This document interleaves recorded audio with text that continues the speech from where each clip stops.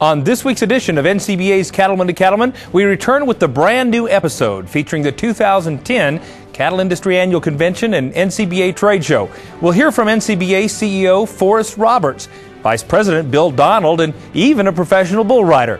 Join us at Tuesday at 8:30 Eastern for a brand new edition of NCBA's Cattlemen to Cattlemen right here on RFD TV.